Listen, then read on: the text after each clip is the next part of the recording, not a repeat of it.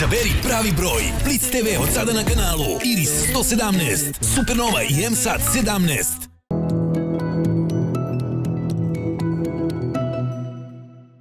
Gospodine Milutinoviću, e, malo pre smo čuli od naših sagovornika, e, imamo neki utisak da se prst sada upire u medije, da su mediji u neku ruku krivi e, za izveštavanje svega što se dešava.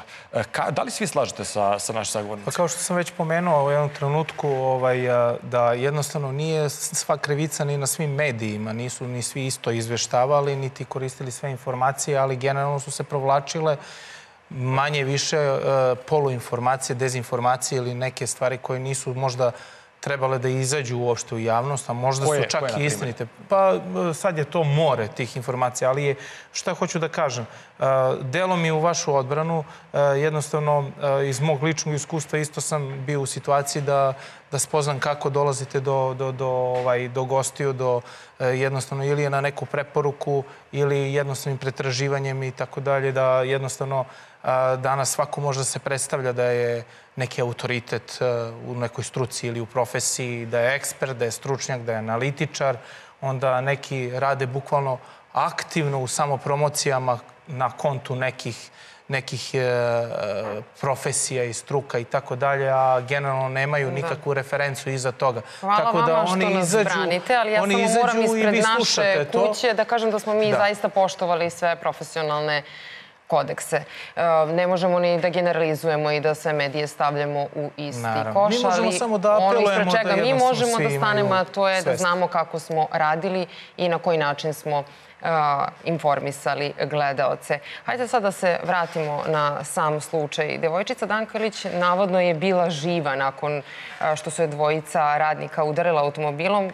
Prve su informacije iz istrage. Telo ubijene Dankilić još uvek nije kao što znamo, pronađeno. Tačan uzrok smrti biće poznat nakon e, obdukcije tela. Na osnovu prvih detalja iz istrage, šta mislite da ćemo saznati o uzroku smrti, gospodine Božiću?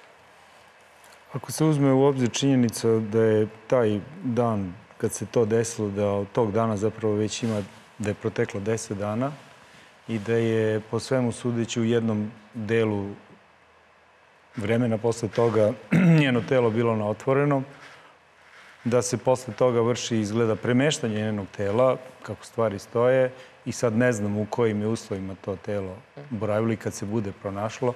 Neminovno je da će za ovaj vremenski period koji je do sada protekao, to je već čitavih desetak dana, doći do izvesnih promjena koje će u mnogome e, sprečiti lekare sudske medicine da utvrde sve povrede i promene koje su proistekle u tom jednom kritičnom događaju bojim se da će sada biti ovaj, dosta teško to da se uradi, odnosno da će se na osnovu nekakvih e, potencijalno zaostalih povreda ili na indirektan način, sve u zavisnosti kad će telo biti pronađeno, to da se verifikuje. E, kažem to iz razloga što e, će sud ceniti, odnosno za sud je jako važno, a u prvom, što bi se reklo, u ovom prvom periodu i za tužilaštvo, samo ono što evidentno postoji, ono što se vidi koliko postoje neke otvorene povrede, prelomi i slično, ili pak potkožna i uh, potkožne povrede, odnosno povrede mekih tkiva, to će sve biti e, značajno zbog utvrđivanja tog primarnog kontakta između delova automobila i njenog tela.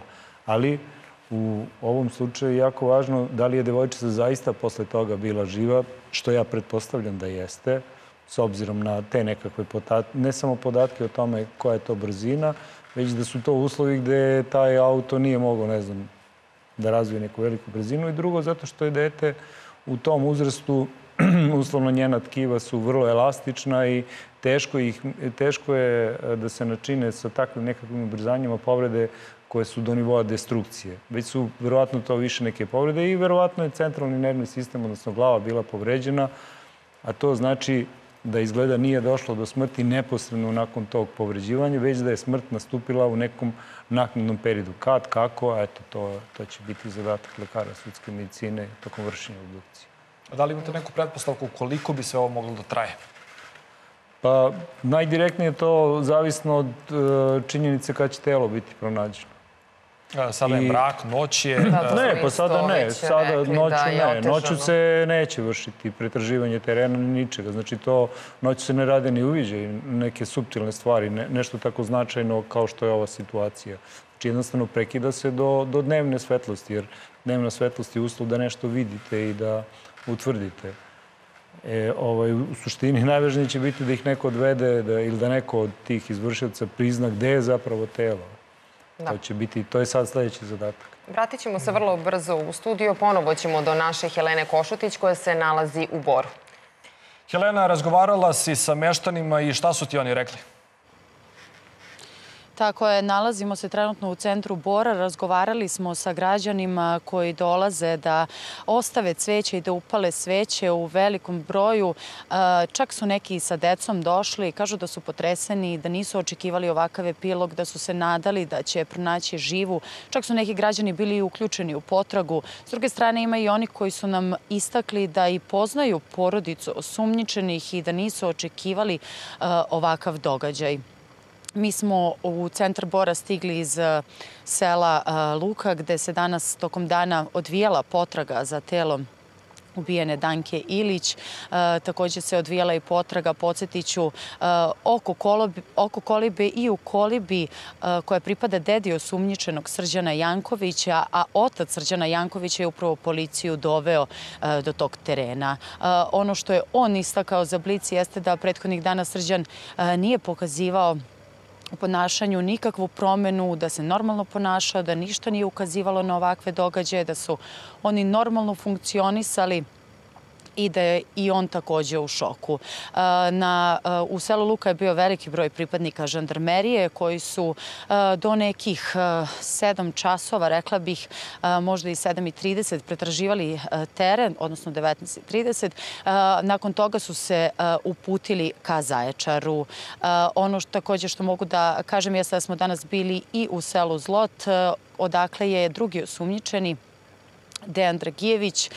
Tu je vrlo pusto bilo, njegove porodice nije bilo, odnosno nisu nam otvorili vrata. Komšije su takođe bile u šoku i rekli su da nisu očekivali ovakav epilog. To je to što imamo trenutno od informacija i trenutno to je stanje u Boru. Atmosfera je vrlo tiha u gradu, nema mnogo građana, sem oni koji dolaze da upale sveće i da ostave cveće, tako da mi ćemo i dalje pratiti ovu situaciju. Studio. E, Helena, hvala ti na ovom uključenju. E, gospodine Milutinoviću, više puta smo naglasili koje službe su sve e, učestvovale u ovoj potrazi, pa ćemo još jednom. Žandarmerija, helikopterske jedinice, pripadnici Gorske službe spasavanja. Kako se vodila potraga za Dankom? Kako je bila saradnja službi i svih ostalih bezbednostnih jedinica, po vašoj proceni? Pa vidite, iako su to zasebne organizacijne jedinice, one sve e, rade i deluju u, kooperaciji po naredbi direktora policije, odnosno ministra unutrašnjih poslova, odnosno direkcije policije, tačnije, znači onih koji su nadležni za e, dalje sprovođenje uopšte i organizovanje svih svih ovaj, a, najviše su tu u stvari svi pod kapom inspektora, odnosno kriminalističke policije koji u stvari su i uh, vodeća organizacijona jedinica u ovom slučaju. Tako da u suštini učestvuju svi i uvezani su svi uglavnom preko uprave kriminalističke policije, pa generalno svi zajedno, jednostavno tu nema neke posebne hjerarhije, nego jednostavno je saradnje na prvom mestu. E, jedna ekipa e, policije je otešla ka Majdanpeku, to je informacija od pre sat vremena. Da li mislite da će tamo nešto naći? Sve je to pitanje, ne bi da polemišem, baš da ne bi dolazili u situaciju kao što smo već kritikovali. A, jednostavno, policijski inspektori najbolje znaju zašto su uputili tamo, možda prate neki, jedan od tragova, jedan od mogućih nekih pravaca istrage i jednostavno to je ono što smo pričali, treba kao što je bilo za Beč. Treba sve proveriti, treba sve videti i jednostavno oni se upućuju prema nekom nalogu da neku sumnju i na neku informaciju koju treba sve to obraditi. Tako da je to sve već otvoreno. Sutra mogu da, da odu na neku sasvim drugu stranu. Znači, jednostavno, ali to ne znači da napomenem, pošto pretpostavljam kako ljudi razmišljaju kada se kaže sad otišli su na tu stranu, ostatak policije radi e, simultano sa tim aktivnostima tih grupa koje su otišle na tu stranu, ajde kažem tako, a, da bi se razumeli, jednostavno rade svi simultano, na standardno, na stalnim već razvijanjem ostalih pravaca istrage, odnosno na obradi svih tih podataka, informacija i tako dalje. Da. A šta može da oda ovakve osobe kada pričamo o počiniocima? Je li moguće da njihove porodice ne mogu ništa da primete? Evo, čuli smo izjavu oca koji tvrdi da prosto to je neverovatno. A, mislim da ovo je, ne znam, ali čini se da u trenucima kad su došla od strane vaše voditeljke neka direktnija pitanja, da je on počeo da se pomera i da ide unazad. Znači, znači da govor tela nešto... To je jedan govor da. tela koji je govorio u prilog da mu je neprijatno teško i šta već iza toga. Koliko on od svega toga, sumnjam da je on ništa znao, da je išta čuo od sina i da onaj prvi deo o kome priča, da je upravo tako i bilo, da se to tako dešavalo. Međutim, Naravno, postoje to jedan kritični period u, u, u relativno kratkom vremenskom periodu nakon kritičnog događaja, od možda jedan do dva dana kad je bilo najbolje to uraditi i kad su možda oni i bili na nekom informativnom razgovoru. Sve ovo kasnije je samo i njihovo pronalaženje uopšte je odraz jednog sistematičnog pristupa.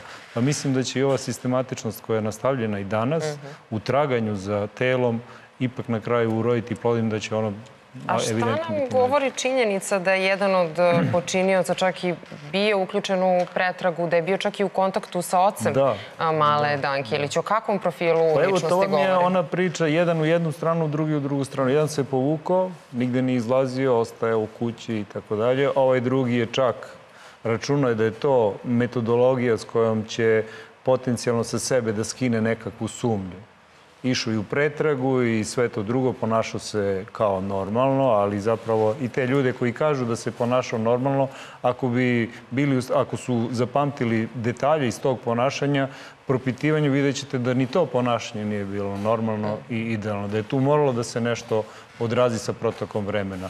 I verujem da će sada u pritvoru moguće da će se doći do nekih odgovora. A ako se ne varam, ministar Gašić je rekao da je posle dva minuta posle, uh, posle udarca automobilom uh, da su uh, počinioci streli Dankinog oca koji su rekli da nemaju predstavu gde se Danka nalazi, da nisu, da je nisu uopšte ni videli. Kakva je hladnokrvnost potrebna za takvu neku izjavu i kakva je, kakvo je poverenje potrebno između njih dvojice? Pa dobro, oni su bili uvezani međusobno tim događajem ali u stvari svo to njihovo ponašanje ukazuje na njihovu monstruoznost, na njihovu izopačenost. Znači, prvo, u, u neposredno posle toga, apsolutno nikakvih podataka nema da su oni probali da bilo šta, na bilo koji način pomognu tom detetu, nego su uradili sve u pravcu sakrivanja dela, prikrivanja tragova, kako god hoćete. Vidite kako se namestilo da baš otac najđe da ih pita i da oni na taj način odgovore. Znači, Oni su u tom trenutku, pa ko zna na šta sve bili spremni da su imali oružje, možda bi i njega probali da liše života. Mislim, kraj e, ili e, linija koju su probili tog trenutka kad su ovu devojčicu povredili, njih je prebacila u neki drugi ambijent koji očigledno njima i pripada. Pa isti, svaki normalan čovjek bi mnogo drugačije uradio.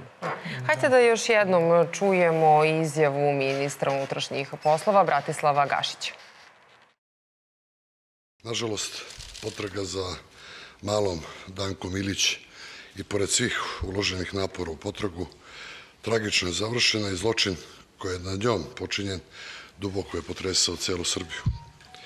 Svoje lično ime i u ime svih pripadnika Ministarstva unutrašnjih poslova izražavam najdublje saučeše porodici Male Danke. Pripadnici Ministarstva unutrašnjih poslova nakon desetodnevne obsežne akcije detaljne provere svih tragova i informacija uhapsili su SJ 1974. godište i DD 1974. godište zaposlene u javnom preduzeću, javnom komunalnom preduzeću Vodovod Bor, osumnjičene da su 26. marta automobilom udarili i ubili dvogodišnju Danku, a potom jedno telo bacili na deponiju.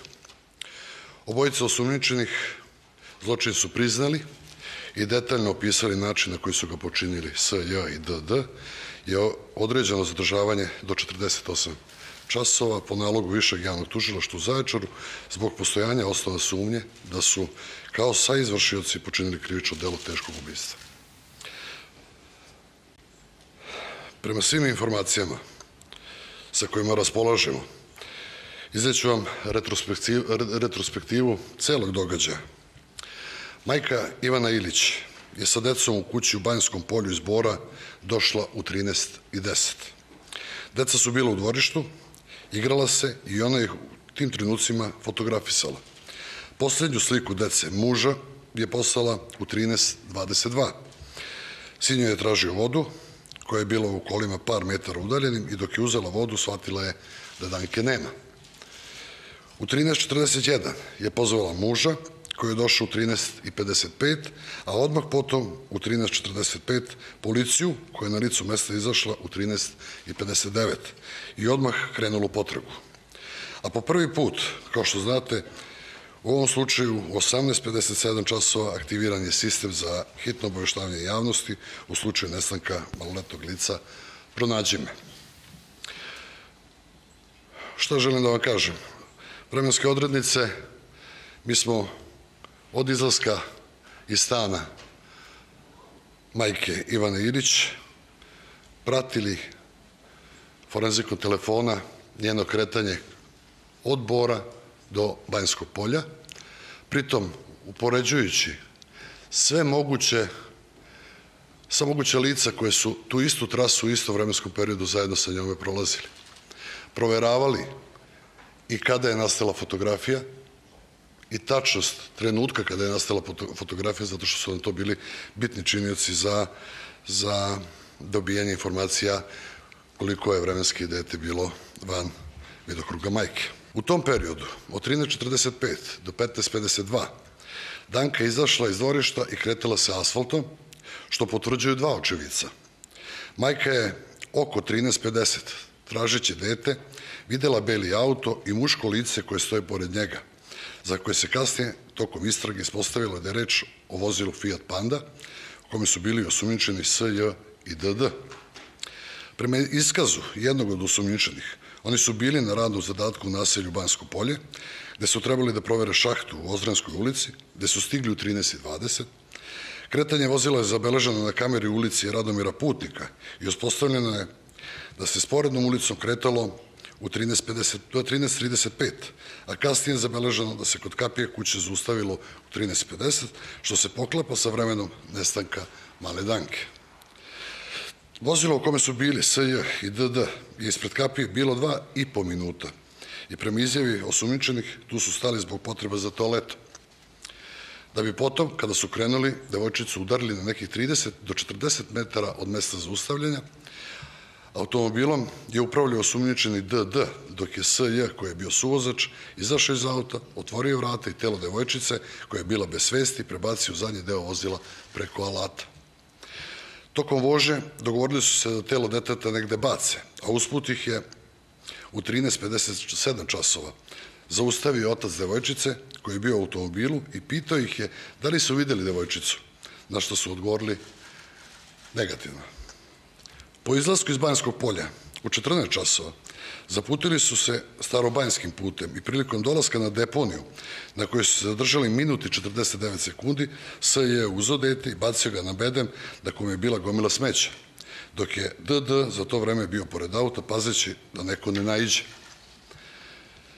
Nakon toga su se vratili u firmu, ostavili vozilo, O, o monstruoznosti i hladnokrvnosti ubice devojčice svedoči i činjenica da je SJ po pozivu direktora istog dana otišao u Banjsko polje da traži devojčicu svestan da ju je hladnokrvno usmrtio.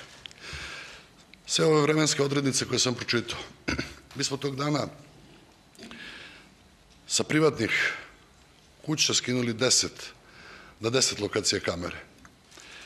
E, Jedno smo čak čekali jer je u Americi da dođemo do ključa i kuće pazitelja da bi mogli sa nje, koja nam je na kraju i najviše pomogla da dođemo i vidimo kretanje. Sva njihovo kretanje, pošto se radi o službenom vozilu vodovoda Bor, ima GPS i zabeleženo je svo njihovo kretanje.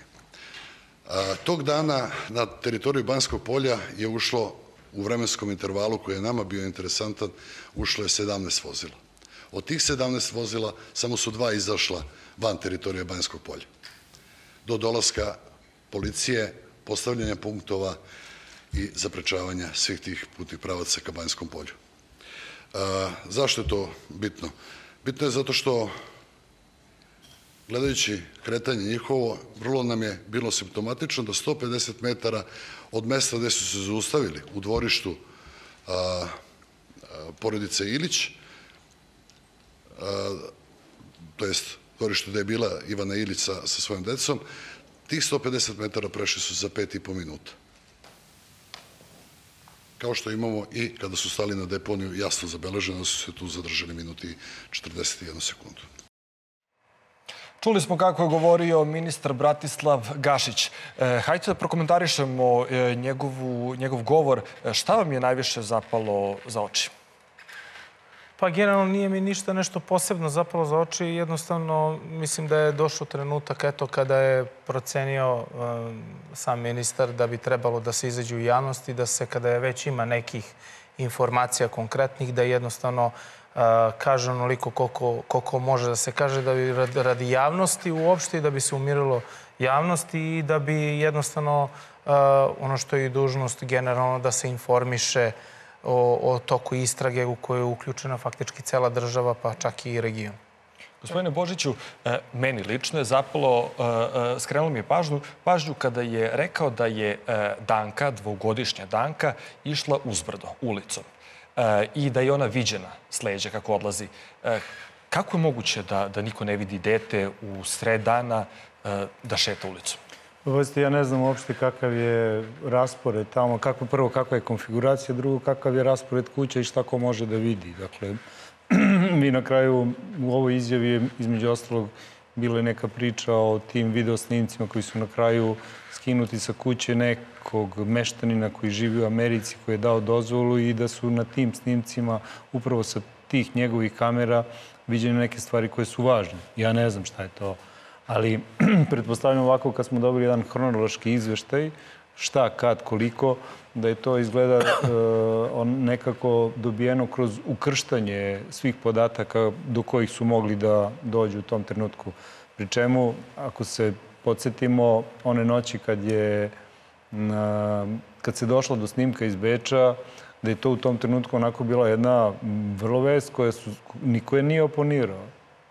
I kao vrlo važnu i ja verujem da nisu sa tim izjavom izašli tek tako, nego da je neko pogledao te snimke i rekao jeste, postoji sličnost i tako dalje. Sličnost je bila evidentna. Tako da, kažem, uh, u, i u ovoj izjavi kao krajnjoj, nekako u, za ovaj trenutak krajnjoj, ne mislim da je to, bit će tu još nekih detalja koji će u nekom narednom periodu biti rečeni, verovatno. Uh, u ovom trenutku je to što može da se kaže, u suštini je rečeno ono što je najvažnije, na koji način je ona nastradala. Sve ovo drugo o hronologiji je manje više nešto što je tehnički bilo da kažem, e evidentno. I sad ostaje taj nekako, sve ovo možda računamo sa jedno 50% urađenog posla. Ako se telo ne nađe, bit će problema, zaista. Kažem, moguće je da se donese presuda i bez, bez tela, ali... Jel to znači da je ostalih 50% pronalaženja tela? Da, da, apsolutno. Da, idemo ponovo do naše Danice Canić koja se nalazi u Boru. Danice, imaš li novih informacija?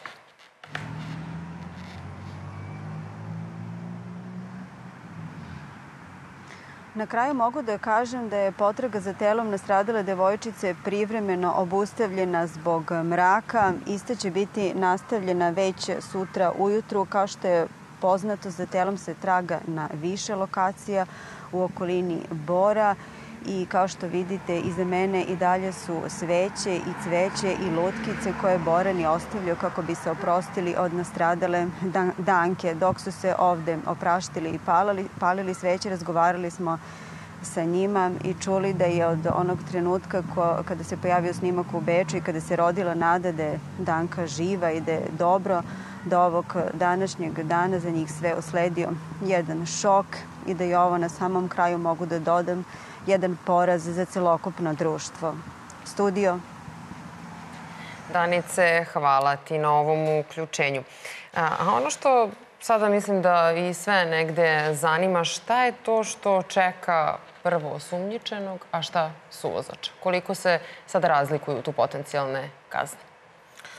Pa evo, ovaj, kao što i gospodin eh, advokat koji je Perović, bio da. ovde, da. Perović, ovaj, pomenuo, ja bi to ponovio i dodao da a, eh, normalno saučesnik uvek ima neku, ajde kažem, blažu, blažu a, eh, pretnju kaznom, ali opet i to sve zavisi od toga kako će tužilac, odnosno kakvi, se, kakvi će dokazi da to potkrepe ili da jednostavno da, da uključe kao jednako kao učinioca. To sve sad zavisi od toga kako će uspeti da se prikaže, predstavi, što se kaže na glavnom pretresu i da jednostavno da se e, proceni koja je težina e, dela koje je svako od njih e, učinio. Da, u srpskom zakonodavstvu postoji i doživotna kazna. Koliko je ona realna u ovom slučaju? Ne, ona nije realna u slučaju. Da. Ovo nije situacija, ovo uopšte da. nije delo koje potpada pod onu grupu za šta, da, za šta dolazi da. obzir doživotna kazna sa 40 godina.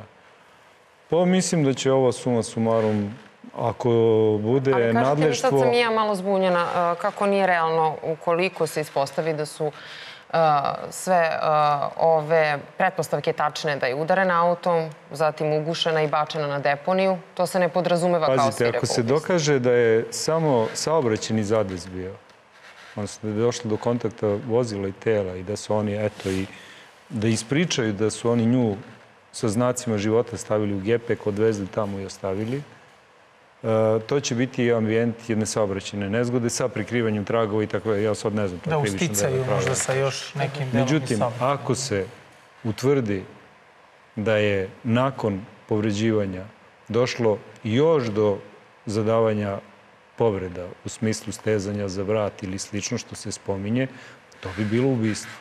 Da. To znači, više ne bi bilo saobraćeno. U toj situaciji za takvo ubistvo preti kazne doživotnog, odnosno 40 godina. Ili šta već, kako su Da, jer je i dete... To su, to su dve situacije. Međutim, za ovu drugu mogućnost, kažem, samo se spominje kroz medije i ja prosto komentarišem da napravimo razliku, ništa drugo. Ovaj prvi oblik saobraćajne nezgode, čuli ste raspon kazni, koliko je od dve godine pa do, ne znam... Do osam godina. Osam, devet, deset ili koliko. A da li je moguće... Biće, da li moguće biće da sigurno ona gornja bliže gornjem limitu. I zbog pritiska javnosti, odnosno zbog cele... Da li je pa, moguće da bude da, minimalna kazna? Ne, ne, ne, ne, ne. Ovdje imate više e, krivičnih bila. Mislim, da. prosto pričam zato što sam stalni učesnik, dobro sad kao veštak, ali slušam to stalno. Znači, ovdje imate više krivičnih dela, ono što je evidentno. Imate samu saobraćenu nesreću i nezgodu, kakva god ona bila i po god kakvim uslovima se desila. Zatim imate nepružanje pomoći. Da koje je teško dokazati. Zatim imate prikrivanje tragova. I bežanje Zatim imate, sa lica mesta. Molim? I bežanje, bežanje sa lica mesta. Pa to vam je to, to sve. To. Prikrivanje, čim po, su otišli sa lica mesta, nisu pozvali nikoga i tako dalje. Znači, to je prikrivanje samog dela. Prikrivanje da, na način da se nisu...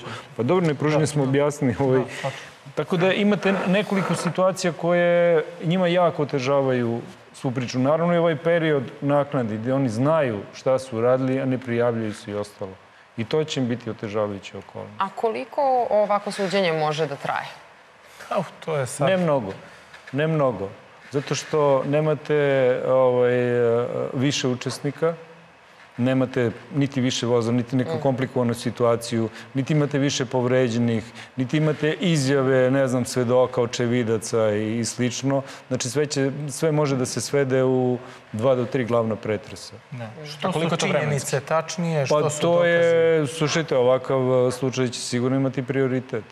To je, znači, za jedno mesec i po do dva, kad dođe do suđenja, dotle ima, znači, istraga da se sprovede, pa da onda tužilaštvo podnese optužnicu koju će da odobri sud, nadležnog suda, i onda da sudi sud, vidim da to pripada Zaječaru, pa onda pravosnažnost posle onog dana kad to potvrdi viši sud, apelacioni sud, ja sad ne znam, oni pripadaju Nišu, čini mi se, kad to apelacioni sud u Nišu uh, ovaj, potvrdi ili vrati na ponovno suđenje, to je već neka Da, to je priča. ukoliko ulože žalbu, pa onda ide na Pa ne, ako oni, ako apelacijni sud prihvati da je sve to u redu, samo će potvrditi presudu i s time A završiti. da li postoji uh, opcija da se ovaj slučaj zbog uh, interesovanja i veličine i svega prenese na da bude državni slučaj? Ne, ne, ne, ne, ne, ne. je Teritorijalni ambijent je nešto što se poštuje. Da. Ne može iz jednog mesta u drugo da se prebaci. Imaće sigurno prioritet neki zbog javnosti prvenstveno i zbog prirode dela. Pa koliko su opterećeni, Da, zavisi, će- ne, nemate nekog da. pravila. A postoji mogućnost da posle ovog slučaja budu pokrenuta pitanja koja se odnose na rigoroznije e, kazne od životne, možda, doživotne? Pa mislim da to baš i nije...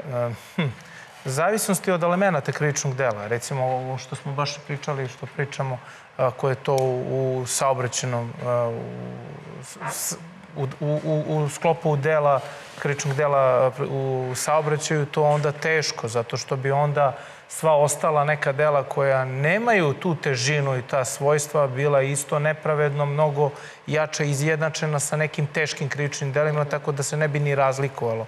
Uh, svako krivično delo mora da se, sankcije e, mora da se razlikuju, jer nisu težine iste i nije, nisu elementi krivičnog dela isti. Tako Pa da je dobro, i pravni nerealno- ambijent je živo telo, prati događanja. Da. U trenucima kad su se pojavljivali češće slučajevi silovanja devojčica i vidite šta je sve pokrenuto, pa na kraju krajeva i na tu inicijativu su doneti i pooštrene sankcije Da, u odnosu da. na to delo. To jest kada se vidi da neko delo postaje već previše učestalo i, i da Pa ne samo da učestvalo, kazna ne, ne, ne mislim, nego se na pravi način to ovaj, osvetli i jednostavno se shvati da je ona kazna koja za to sledi suviše malo. Onda su promenili su nekoliko tih sankcija u, u proteklom periodu. Mislim da objasnim gledalcima generalno, a i kad pričamo o stručnim nekim uh, pojmovima, uh, po- kazna je u stvari nosi generalnu i, i, i specijalnu, to je specijalnu prevenciju. Šta znači to? Generalna prevencija je kada drugi vide kakvo je to delo, kakva je to kazna zaprećena i kako neko izdržava tu kaznu da ne bi činili drugi. Što je isto samim tim, ovo može da bude i ovo što smo baš pričali pre nekog momenta, kao generalna prevencija, da, da odvrati neke koji bi možda to učinili. A, a specijalne prevencije opet je nešto što je na zavisnosti od krivičnog dela, opet na onoga ko je izvršio krivično delo da ne bi bio recidivista, da ne bi ponavljao. Ali za ove slučajeve ne možemo da pričamo posebno o nekoj velikoj specijalnoj prevenciji zato što je to specifično sa ovako. A šta nas očekuje narednih dana? Šta možemo da očekujemo od policije? I e, jedan od mojih današnjih sagovornika, forenzičar, e, rekao je šta ako se dete ne nađe? Pa na to pitanje smo nekako već odgovorili u prethodnoj priči da ako se za trag koji je zatečen u automobilu uspostavi da je trag od e, devojčice, od Anke, znači mi ćemo, imaće, postojeća jedna priča, drugo i ova njihova izjava, pokazivanje i sve ostalo. Ja verujem da će oni posle nekom narednom periodu biti saslušani u prisustvu advokata. Vidjet ćemo kako, na koji način će se braniti. Oni imaju pravo da se brane i ćutanjem. Ako počnu da se brane po savjetu advokata ćutanjem, to bi na neki način značilo zatezanje situacije. Jer ako se izmaknu njihovi, njihove, e, njihova priznanja data u ovom postupku do sada pred policijskom upravom tamo u, Boru, onda neće biti tako jednostavno. A šta onda sada može da utiče na to da oni promene svoj eventualno iskaz ili Pa, pristup Savet slučaju? advokata. Dovoljno je samo da kaže ono što imaju pravo, to je recimo da se brane ćutanjem. Da više nik- nekakva pitanja ne odgovaraju ništa, a to što su izjavili policiji, se to nema, to nema nikakvu težinu u istražnom Ništa, postupku. vidite, advokati odbrane će sigurno koristiti svaku argumentaciju, to je Pa kontraargumentaciju. ne znamo da li će koristiti. Pa Mogu mislim, da to je koriste, normalno, to je ali... njihov posao, da koriste kontraargumentaciju, da odbrane e, njihovog e, klijenta. Tako da će oni koristiti sve što mogu. E, Naravno, to sad zavisi od valjanosti i čvr- čvrstine dokaza koji budu bili sakupljeni i prezentovani. Da li ima tela ili nema tela, to će isto, ja mislim, biti isto siguran sam neka neka prednost ili, ili ha, manjkavost. Dobro, mi pričamo o varijantama događaja, ali sudeći po preseku onoga o čemu se, šta je u biti, a to je događaj i gubitak života ove devojčice, nisam siguran da će njima biti dozvoljeno da se u nekom širokom dijapazonu brane i da bez obzira mogu oni da ne govore ništa, bojim se da će posredni dokazi biti nešto što je moguće da se oni opredele kao, kao krivci, okrivljeni. Nažalost, znam za slučajeve, za slučajeve u kojima sam radio nešto, da je sudija bez i jedne reči okrivljenog i bez priznanja, pa i sa vrlo malo materijalnih dokaza uspeo da donese osuđujuću presudu koja je apelacija na prvu potvrdila. Da, pa dobro, znači, to tu vam dolazi stvari. ono što je Perović komentarisao. Opcije, da. Ja nisam rekao da sudije sude na osjećaj, mm. ali mnogo tih uh, uh, dokaza koji i nemaju direktan karakter. Ne možemo mi nekako ubistvo ili bilo kakav događaj da snimimo kamerom pa da znamo kako se desilo. E zato postoje nivoji ljudi koji će veštačiti i koji će objasniti kako se nešto desilo, što će za sudećeg sudiju verovatno biti dovoljno da, da ovu dvojicu da. oglasi krivi. Da, a sada da se dotaknemo i porodice male Danke Ilić i majke i oca. Ovo je za njih ogromna trauma. Oni imaju još jedno dete, majka je isto u drugom stanju. Kako sada pristupiti njima uh, i da li će ikada moći i kako da ublaže ovu traumu? Vidite, šteta je tu već načinjena. Znači, jednostavno, šta se desilo, desilo se jednostavno na, u odnosu na njih a, ostaje trauma, sigurno, više struka prvo što, im, što su ostali bez svog deteta, drugo zbog osude i zbog raznih optužbi koje su bile jako glasne po, u medijskom prostoru, odnosno u javnom prostoru, onda jednostavno pogledi drugih ljudi, znate kako je to što je baš bilo reči.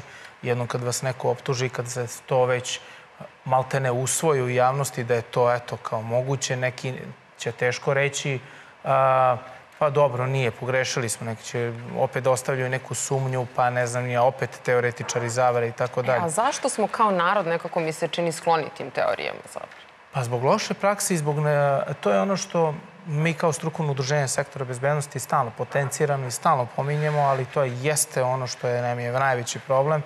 E, baš što smo pominjali to zbog neke te, kažem, slobode gore, odnosno da svako može nešto da radi šta god hoće i da kaže nije tačno. Jednostavno, bezbednostna svest, koja je u stvari bezbednostna kultura, kad je nešto poželjno, kako treba da se ponašamo, Uh, jednostavno čak i ovo kako moramo da pazimo u odnosu na druge ljude. Kako naša dela, kako naše reči utiču na druge ljude, na okolnosti, na sve, na nas same. Jednostavno, to je to baš ona kultura. Potrebno je stvarno da stvorimo neku društvenu svest o tome šta je poželjno bezbednostno, šta nije poželjno, odnosno šta je uopšte kultura. Da ne možete da osuđujete nekoga tek tako što vam se eto tamo svidi ili što ste vi čuli, načuli i tako dalje. Jednostavno, najlakše je reći i nekoga okaljati ta kaljuga ili taj, ta, ta, ta ocena negativna se teško skida. A ostaje iza toga ozbiljan problem. I jedno pitanje za sam kraj ovog razgovora za gospodina Božića i za gospodina Milutinovića. E, da li smo išta naučili iz ovog događaja? Pa, tek trebamo da vidimo to. Mada ja se ne bih složio sa ovom konstatacijom da smo mi bezbednostno, pa dođe smo do skoro reči, nekulturni. Ali e, ne kažem da ne može bolje, ali jednostavno ne možete vi da se otrgnete događajima koji vas sustižu i ovako nekoj situaciji i ne mislim da su ljudi bilo kakve zaključke izneli ili došli do zaključaka samo razmišljajući sami za sebe. Bojim se da je ambijent oko tih ljudi bilo nešto što je uticalo na neke njihove zaključke. Ne možemo mi ništa veliko iz ovog, osim da smo svi na neki način obeleženi uh, ovim događajem, a da je sigurno najteže porodici. Oni će zaovek imati jedan ogroman ožiljak koji će ih stalno posećati na ovo dešavanje i ne možemo očekivati da će oni ikad biti celi u narednom periodu, posebno ne roditelji. Tako Gospodine da... Milutinoviću, da li se slažete? Ja i dalje stojim na svom stanovištu koje je čvrsto, potkrepljeno, argumentovano. da nama je zaista fali bezbednostna svest i bezbednostna kultura i da je nemamo dovoljno, ne dovoljno, nego je zaista nemamo u globalu uopšte, ne samo u ovakvim situacijama, nego generalno. Pogledajte kroz saobraćaj, pogledajte kroz sve šta se dešava, pa čak i kad pogledate kako neki roditelji paze na svoju decu. Znači, to nije nešto što mi pričamo sad kao struka, nego jednostavno izađite napolje pa vidite sami. Svi živimo svakodnevnicu i to vidimo svaki dan. Znači, jednostavno fali nam, zaista nam fali bezbednostna kultura. To jest sama svest o tome e, koju treba da mi izgradimo i da ukazujemo svaki put, u svakom momentu, u svakoj prilici šta je poželjno, šta nije.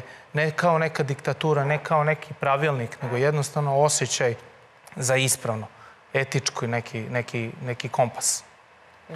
Hvala mnogo što ste govorili za Blitz televiziju i što ste bili naši gosti. A mi sada idemo ponovo da čujemo ekskluzivnu izjavu oca Srđana Jankovića, osumnjičenog za ubistvo Danke Ilić.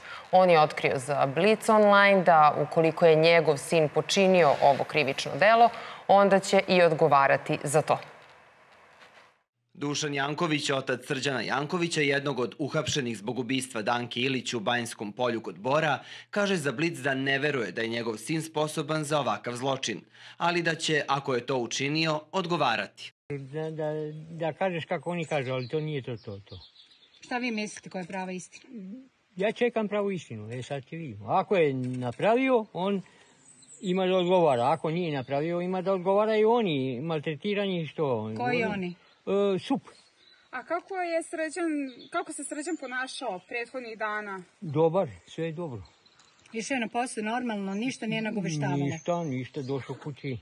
Orali smo, evo tu, dve u selo, dve bašte. E, vratio traktor ovamo, e, posadio ovaj, kako se zove, onu salatu. Oni sad su iskopali to sve u selo. A recite mi, je Srđan voleo da popije? Ne, po, to nekada, nekada, inače ne.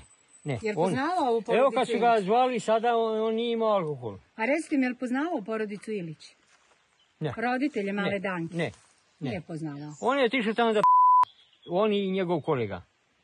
I kad su pošli od tog mesta na dole, našli su dva čovjeka, da li milicioneri ili vatrogasci. A recite mi šta će oni I tamo? kaže, e, e, ste vidjeli nešto gore? Šta da vidimo? I tako ostalo. On, oni su otišli na svoj posao. Dobro, da, a recite mi šta će oni tamo u 15 do 2, 26. marta? Šta su tražili tamo? Gdje, gdje? Pa na, u, u Banjskom polju. Pa da rade. A šta su radili tamo? Možete to mi objasniti? E, pa ne znam ja, to pitajte njih. Kad i evo ga on u boru, pitajte tamo njih. A kada su ga priveli, to jest kada je policija došla u ponedeljak, da li vam je on nešto rekao? Šta? Ništa, ništa, ništa. Ništa vam nije rekao? Ja samo ovo što vam kažem da su otišli da tamo i pošli su dole, ništa više. A oni svašta pričaju sad.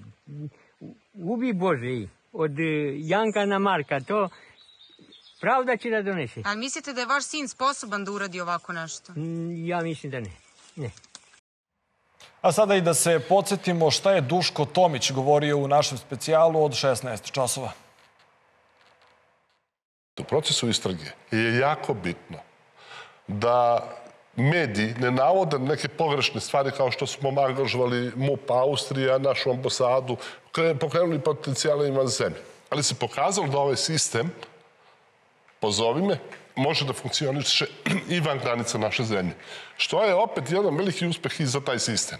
Ali, pripadnici Ministarstva unutrašnjih poslova su do te mere bili jako profesionalni u obradi svih ovih informacija, nisu davali ni jednu informaciju u medije, vi ste mogli da, to da, da, da čujete, dolazile su selektivne informacije, čak su uhapsili jednog, čini mi se, jednog pripadnika, to mi je suprug rekla da su uhapsili jednog pripadnika ministarstva unutrašnjih poslova koji je drugog ili treći dana koji je navodno dao da ovo informacije. Nema ovo davanje informacije, ovo je operativni rad.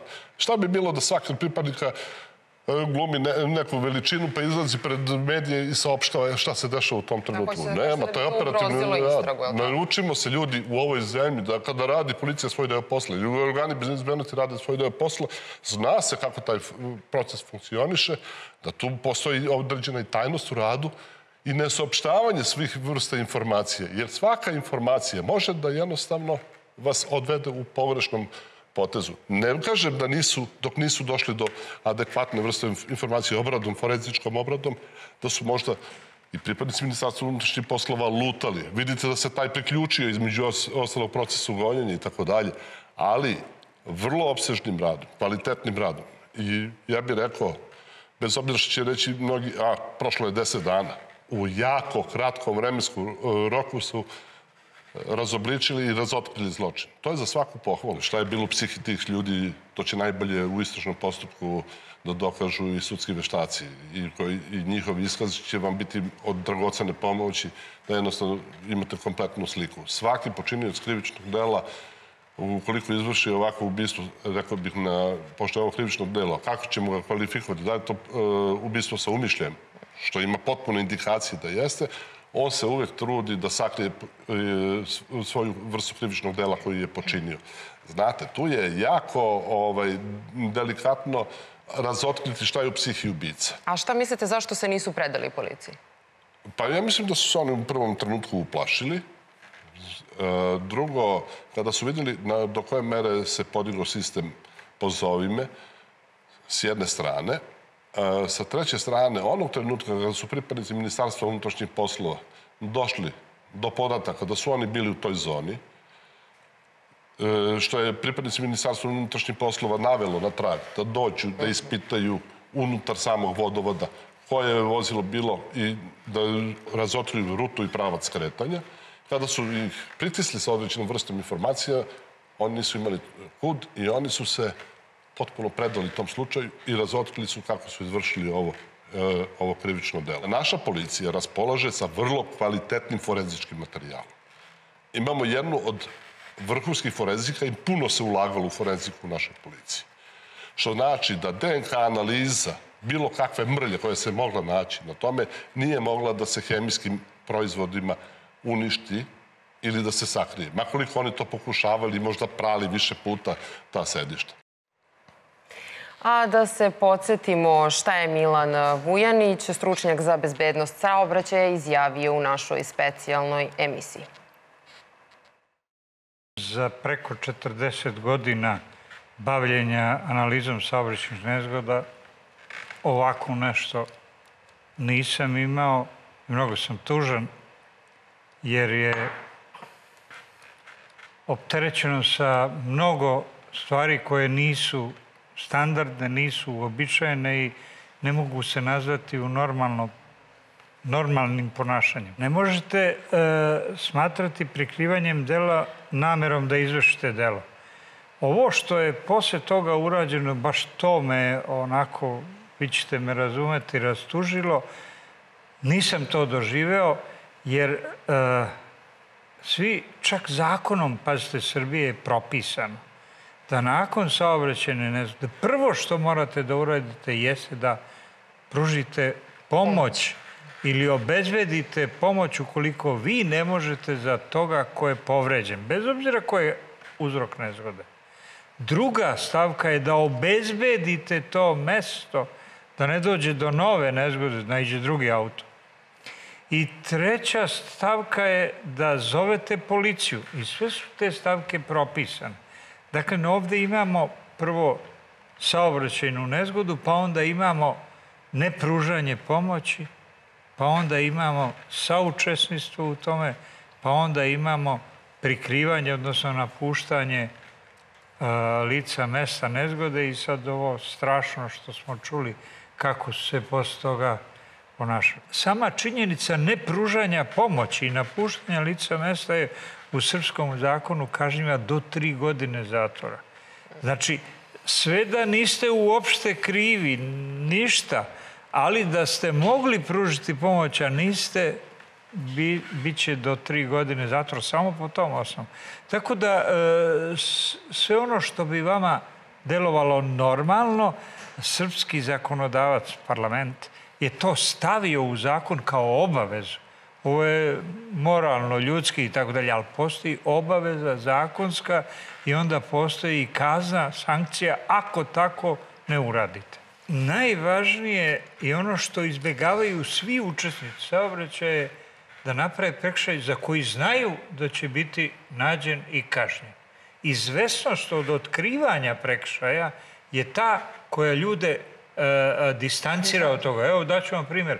Kameru kad stavite i piše kamera, Da. niko ne prolazi kroz Da, crveno sve i ne je vozi normalno, brzo. da, Zato što zna da će biti Da. sigurno pronađen i sigurno kontrola, tako je. Ovde je baš taj segment e, nedostaje, ovo što su oni Nepoznavanje zakona, nepoznavanje možda su posledica svog dela. mislili da mogu da u ovim okolnostima prođu tako što se delo neće otkriti ili se neće otkriti ko je učinio delo. Nismo dobili nigde javno objavljene tragove na osnovu čega se zna da je devojčica udarena automobilom, nego je to objavljeno koliko sam ja mogao da ispratim na osnovu priznanja ove dvojice.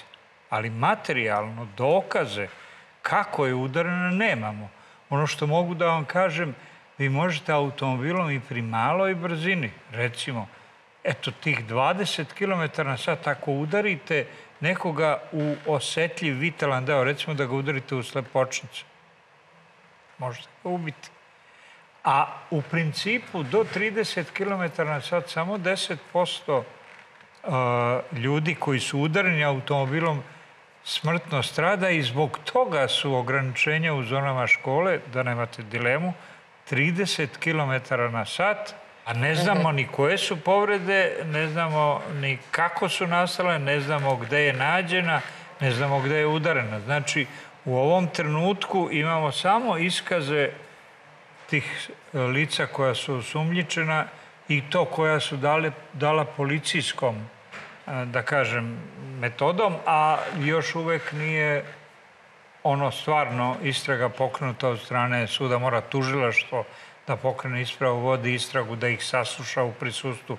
S obzirom na težinu dela moraju da imaju branioca i ako nemaju ni para ili ne znaju, sud im dodeljuje po službenim dužnosti. To vrlo, pazite, vrlo je precizno opisano i tačno se zna kako to mora da se radi. Ovo što sad imamo su samo naša nagađanja i zato da kažem, zgrožen ovom situacijom, a nisam u stanju da slobodno razmišljam o tome šta sve može da bude.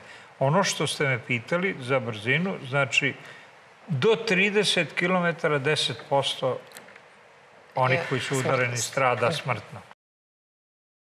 I još jednom za kraj uključujemo našu Helenu Košutić. Helena, da zaključimo kako je današnji dan izgledao. Tako, evo, današnji dan e, negde se privodi kraju. Jutros nam je, nažalost, e, saopštena vest. Predsednik e, Srbije Aleksandar Vučić nam je saopštio da je potraga za dvogodišnjom Dankom Ilić imala tragičan ishod. Nakon deset dana potrage, mi smo saznali da je ona ubijena.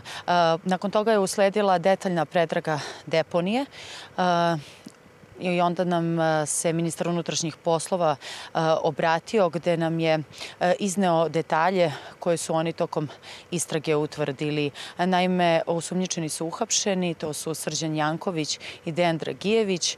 Kako se navodi, oni su svojim službenim vozilom Fiat Panda upravljali u Banjskom polju, to je kretali se na radni zadatak, nakon čega su usmrtili devojčicu. Onda su je stavili u gepek i odneli na deponiju na Starobanjskom putu. Takođe on je istakao da su tokom istrage utvrdili i da je 28. marta uh, jedan od osumnjičenih došao na uh, deponiju, odakle uh, sumnja se premestio telo devojčice. Tokom dana je policija, veliki broj policije i pripadnika žandarmerije je pretraživala i selo Luka, kao i ok, okolinu sela Luka gde se nalazi kuća Srđana Jankovića, odnosno pripada njegovom dedi, a upravo otac Srđana Jankovića je odveo policiju na to mesto. To je bilo puno pasa tragača, takođe i podizanje dron. U isto vreme je nastavljena i potraga na deponiji Nakon toga negde oko 7 časova, odnosno 19 časova, 19.30, žandarmerija se uputila u pravcu Zaječara i preposlijamo da je za ovaj dan potraga za telom Danki Ilić obustavljena. Preposlijamo i da će sutra biti nastavljena. To su informacije koje imamo sa terena. Takođe, više javno tužilaštvo u Zaječaru je danas saopštilo da je uhapšenima određen pritvor i zadržavanje od 48 sati i da se prikupljaju svi dokazi zbog daljeg, dalje istrage. To je ono što imamo danas od informacija i to je ono što je do sada poznato javnosti. Studio. Hvala Helena na još jednom uključenju.